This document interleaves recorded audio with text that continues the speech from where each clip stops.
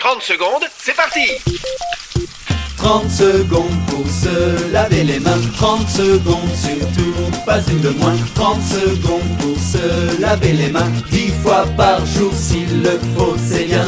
Allez, sous le robinet. Le savon, faut le faire mousser. Sur les mains des deux côtés.